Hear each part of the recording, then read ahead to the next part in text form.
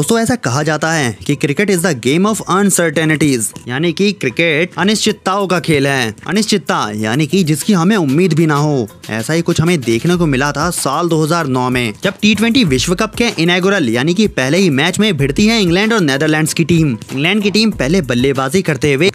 run board पे टांगती है पांच विकेट के नुकसान पर लेकिन मजा तो तब आता है जब नेदरलैंड की टीम इसे चेस करने उतरती है लेकिन तब आता है मैच में एक ट्विस्ट जब टॉमडी ग्रोथ और पीट पीटर बॉरेन के बीच होती है एक शानदार पार्टनरशिप और दोनों ही बल्लेबाज शानदार तरीके से मैच को आगे ले जा रहे होते हैं लेकिन तब एक तेरहवे ओवर की आखिरी गेंद पे टॉम डिग्रूथ आउट हो जाते हैं जैसे तैसे करके टीम नेदरलैंड पारी को आखिरी तक लेके चली जाती है और आखिरी गेंद पे जीत के लिए उन्हें दो रन चाहिए होते हैं जिसे बना करके नेदरलैंड की टीम इंग्लैंड की एक्सपीरियंस्ड साइड के साथ एक बड़ा अपसेट कर देती है दोस्तों अगर आप भी फैंटेसी टीम्स बनाते हैं तो खेल स्टेशन टेलीग्राम चैनल को जरूर ज्वाइन करें ज्वाइन करने के लिंक डिस्क्रिप्शन और कमेंट सेक्शन में पिन कर दी